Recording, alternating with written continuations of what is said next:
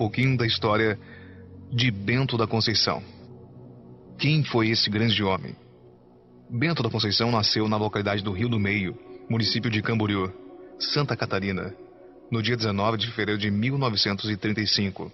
Filho de Gregório José Pedro e Ana Pretolina da Conceição. Família modesta de pais religiosos e trabalhadores. Dois anos após o seu nascimento, seu pai foi picado por uma cobra e veio a falecer. Ana da Conceição ficou viúva, com nove filhos, e Bento era o mais novo da família. A dona Ana, mãe de Bento, era parteira e muito pobre. Quando foi registrar o seu filho, Bento, no cartório, não colocaram o sobrenome do falecido pai, e sim o sobrenome da mãe, Conceição. Em vez de ser Bento Pedro, ficou Bento da Conceição. Ainda muito pequeno, teve meningite. Nessa época, muitas crianças morriam por causa dessa triste doença. Sua mãe o levou ao padre Paulo. Esse padre possuía um carisma de santidade muito grande. Com graças e bênçãos desse sacerdote, Bento ficou curado. Foram momentos difíceis na sua vida, com doenças e muita pobreza. Já com 14 anos de idade, saiu de casa em busca de trabalho. Seu sonho era ser um padre ou um cantor de música sertaneja. Em 1957, ao sair do exército, foi convidado para trabalhar como radialista. Nesta ocasião, destacou-se como cantor e acordeonista. Além do programa de rádio, tinha também um conjunto. Em 1960, com 25 anos de idade, casou-se com a senhora Ladi Iris da Conceição e tiveram 10 filhos. Alex, Gregório falecido, Silvana, Ana Maria, José Roberto, João Batista, Maria Aparecida, Kátia, Graziele e Aline.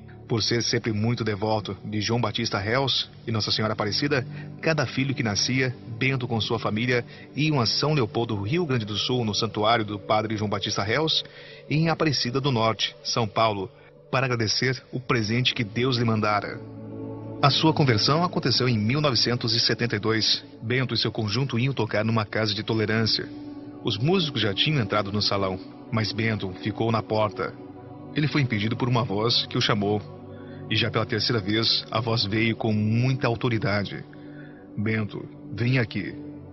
Levado por uma força misteriosa a uns 50 metros daquele lugar e de joelhos diante de um profundo poço, suplicou pedindo perdão a Deus, pois ele se apresentaria naquela casa de pecados. Então olhou para o lado direito e viu uma luz que vinha do céu. E de dentro dela, Jesus falava. Quando olhou para o lado esquerdo, viu o demônio, querendo arrastá-lo para dentro de um buraco negro. Nesse momento, gritou: Não me abandone, Senhor Jesus. Não me deixe morrer nessa escuridão. Nesse momento, desceu do céu uma chuva sobre sua cabeça, em forma de vento. Então viu um mundo diferente. Parecia estar suspenso do chão. Do seu lado direito, ouviu Jesus dizendo: Filho, quero que largue tudo o que vens fazendo e vá pregar o Evangelho. Nesse momento, Bento disse a Jesus: Como farei isso, Senhor, se nem a Bíblia eu entendo? Porque o Senhor não dá isso aos padres e bispos? É eles que são os conhecedores de tudo isso que o Senhor está me dizendo. Eu só sei cantar e tocar. Novamente olhou para o lado esquerdo e apavorado gritou bem alto, pedindo socorro, porque viu uma escuridão que ia para o centro da terra e viu uma grande quantidade de almas perdidas que queriam arrastá-lo também para aquele buraco, que era o começo do inferno. E viu uma quantidade imensa de almas que caíam no inferno todo dia. O pecado que mais levava para o inferno era o pecado da carne. O homem que trai sua esposa, ou vice-versa. Bento sempre insistiu dizendo em suas palestras: O homem que trai sua esposa, ou esposa que engana o marido, esse pecado é mortal, se não vier a se arrepender enquanto ainda é tempo. Isso ele viu com seus próprios olhos. Milhares de almas indo para o inferno por causa desse pecado. Nesse momento, veio uma água do céu, uma água invisível, para os nossos olhos, mas sentiu no seu corpo que essa água entrou no centro de sua cabeça e foi lavando tudo de dentro para fora. Bento perguntou qual a igreja que deveria seguir, e Jesus lhe respondeu: A igreja de Pedro, que é a única e verdadeira, e nunca vire as costas para ela. Meu filho, a tua cruz vai ser pesada, e tu vais ser muito caluniado e desprezado, mas eu sempre estarei contigo. E Bento disse sim a Jesus até o último dia de sua vida. Bento começa a desprender-se das coisas do mundo. Bento então passou a obedecer a Jesus. Tudo que Jesus lhe pedia, ele fazia. Largou a música depois de ter gravado três LPs. Esse era o seu maior sonho: ser cantor. Ficou somente com o programa de rádio para poder falar em Deus até chegar ao ponto de não mais suportar, pois o diretor da rádio o perseguia dizendo: Esse programa, disse um nome feio, nesse programa você só fala em Deus. Teu programa está um nojo. Não suportando mais tanta perseguição, pediu sua demissão. Com certeza teria seus direitos ganhos com o acerto dos mais de 25 anos na rádio. Mas tudo o que Bento fazia era com a permissão de Jesus. E nesse dia Jesus lhe disse: Meu filho, perdoe. Eu quero que você perdoe. E Bento perdoou. O sofrimento com as doenças. Bento passou por muitas provações e sofrimentos, muitas doenças, como um tumor maligno na língua, que os médicos já haviam desenganado, dizendo que pela medicina não se podia fazer nada, nem operar. Mas Jesus logo o curou. A última doença, a depressão, foi a pior de todas. Ficou sete meses sem dormir, a ponto de ir à loucura. Sentia várias vezes que bichos de vareja caíam de seu nariz e de sua boca. Isso era na sua imaginação, porque estava chegando ao estado de loucura. Tudo isso que passou, todo esse sofrimento, foi para testá-lo, para ver até que ponto ele chegaria, ou se desistiria da aprovação. Mesmo assim, fazia caridade, ajudando os pobres e doentes, pois recebeu o dom da cura. E milhares de pessoas foram e estão sendo curadas, milagrosamente com a imposição de suas mãos. E as orações. Certa vez em Joinville, Santa Catarina, foi falar ao bispo, mas foi uma grande decepção e tristeza, pois nem a absolvição dos seus pecados o bispo lhe concedeu. Passando algum tempo, Deus mandou o Sr. Bento morar em Taquaras e construir uma igreja. Então Bento foi morar em Taquaras juntamente com seus filhos. Em Joinville estavam todos empregados, mas a pedido de Jesus, abandonaram seus empregos e seguiram seu pai. Chegando em Taquaras sem emprego, e o Sr. Bento sem salário e sem aposentadoria começaram a pedir ajuda para a comunidade e amigos para construir a igreja. Com muito esforço e sacrifício, conseguiram construir a igreja de São Pedro. O carro que tinha era uma caravã. Depois de terminar a construção da igreja, fundiu o motor e ficou imprestável. Quando a igreja ficou pronta, veio o pároco e disse: Senhor Bento terá que escolher ou as mensagens ou a capela. Bento, mais uma vez, é incompreendido e sofreu muito com isso. Em 1992, recebe a assinatura divina. Estando em oração debaixo de um pequeno pé de árvore, começa a conversar com Deus. Senhor, por que poucos acreditam que é o Senhor que fala comigo nessas mensagens? Nesse instante, uma folhinha do pé de árvore começou a girar na sua frente, indicando as letras já prontas. Então as cortou e formou a palavra Deus, que é a assinatura de Deus. Está em todos os livros a palavra viva de Deus. Em 1994, começou a receber mensagens diárias até o dia 25 de março de 2017. Mensagem que teve como título Não duvidem de minha segunda volta. Deus usou o braço do Sr. Bento da Conceição para escrever quase 5 mil mensagens, contidas em mais de 20 volumes, com o título A Palavra Viva de Deus.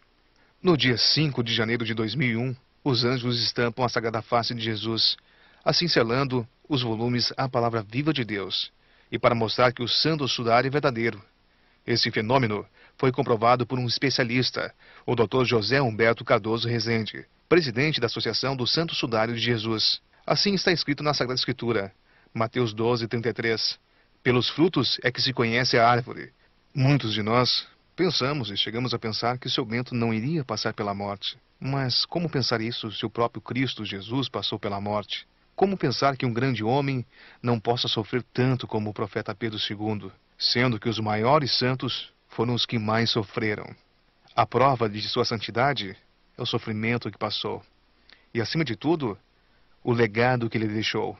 Um grupo gigantesco de pessoas que seguem a Cristo, que seguem os ensinamentos do Cristo, que seguem o livro A Palavra Viva de Deus. Bento faleceu no dia 27 de abril, às 6 horas da manhã. Deixou nove filhos, muitos netos e bisnetos, uma família numerosa, todos seguidores da palavra viva de Deus, da Igreja Católica Conservadora, todos firmes na fé por causa desse grande homem, Bento da Conceição.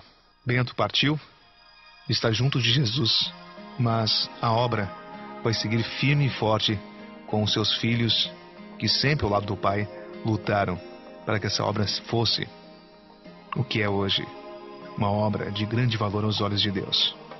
Bento da Conceição foi um grande homem e deixa um grande exemplo de santidade para todos que querem estar um dia na presença de Deus.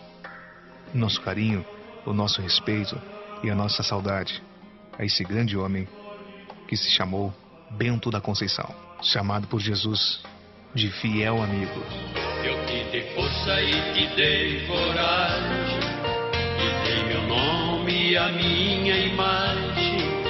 Aqui não falta minha substância e nem amor desde a tua infância. Foste comigo um fiel profeta, então teu nome já está escrito uma imagem viva aqui na terra. Te chamas Bento, seguidor de Cristo. Uma imagem viva aqui na terra. Te chamas Bento, seguidor de Cristo. Um hino cantas em nome de Deus.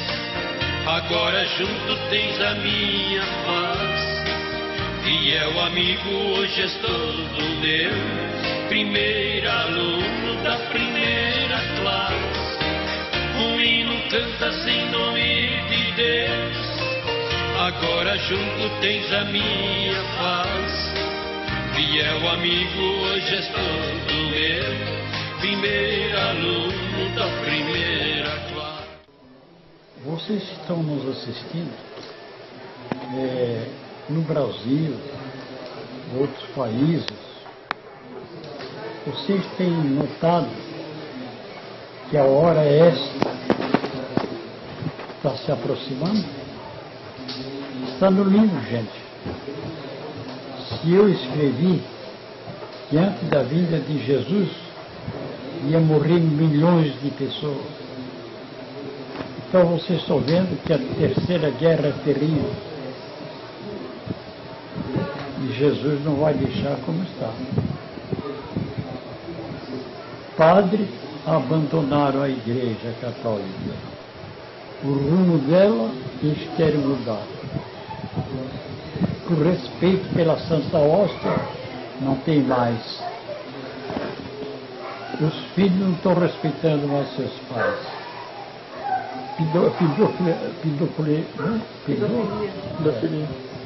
É, isso nunca devia ter entrado dentro da igreja.